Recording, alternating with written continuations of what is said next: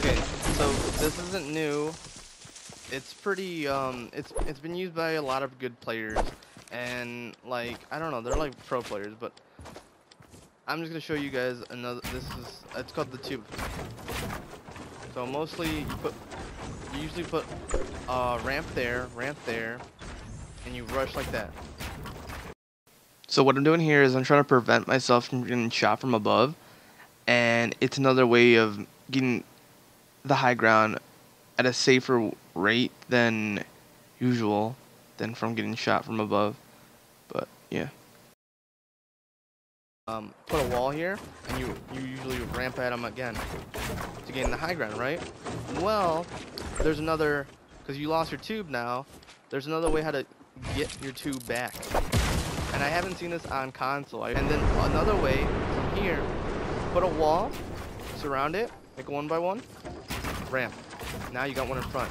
You, you look up and you do one in front. Now you have more of a cover. Now you put another one by one, look up. Now you can add ramps, rush them and all that. And it stops you from getting shot from above. It's, I call this the tube tactic because it's like a tube.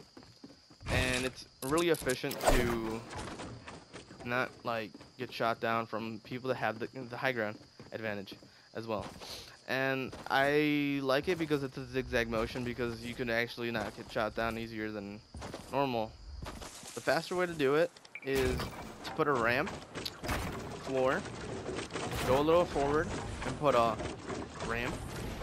Then from here, you jump down, then you look up, place a ramp, and you go forward. Another way how to double it. You can actually double it so I'm gonna teach you how to double it. Keep in mind it uses a lot of maths to double it. Go forward. Oh, there you go. Look at that.